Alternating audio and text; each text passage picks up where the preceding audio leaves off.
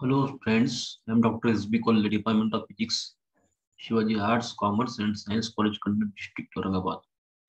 Today we will discuss cardinal points of coaxial lens system, object at infinity. So friends, see in this diagram, lens L1, lens L2, these two lenses, these lenses form coaxial lens system and see ray B after reflection through this lens L2 follows the path along DF2 means AB DF2 and if we produce or in backward direction this is DF2 and if we produce this AB ray in forward direction they will meet at H2 point. H2 point is second principal plane. Now, this H2P2 is located at distance beta from lens L2. So here QF2 is QF2 is F, this F minus this beta. So F minus minus beta because it is sign convention according to this it is minus beta. So F plus beta. Now F plus beta is equal to this F2 into F1 minus D upon F1 plus F2 minus D. We have taken this equation of F. So beta is equal to minus F plus F2 into F1 minus D upon F1 plus F2 minus D. So after simplifying this, using equation for this F, we can write minus f1 f2 upon delta plus f, f2 f1 minus f2d upon delta because this delta is this f1 plus f2 minus d. So beta is equal to minus f2 into d upon delta. Equation first. So beta is equal to minus f2 d upon this delta value f1 plus f2 minus d. So f1 plus f2 minus d is equal to f1 f2 upon f from this equation for f.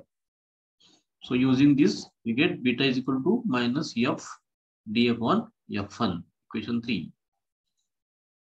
Now this, consider this second diagram. Here, h1 p1 is first principal plane and distance of this first principal plane h1 p1 from lens L1 is alpha. So alpha is equal to f1 into d upon c delta. So alpha is plus fd upon f2. So second focal point, the distance of second focal point f2 from lens L2. See here in this diagram, this L2 lens and this focal point f2. Distance from this second lens f2 is, see here, we can write now. So L2 F2. See here, it is L2 F2. This distance is equal to P2 F2 minus P2 L2. P2 F2 minus P2 L2, this distance. So we can write F minus minus L2 P2 is equal to F plus this beta. F plus value of beta minus fd upon f1. So L2 f2 is simplifying this f into a1 minus d upon f1.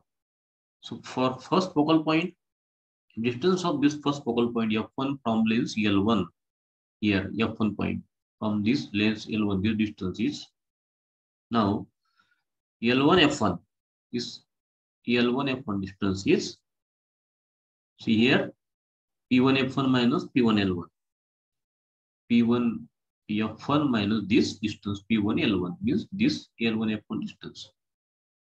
So it is given by minus F. P1 F1 is minus F.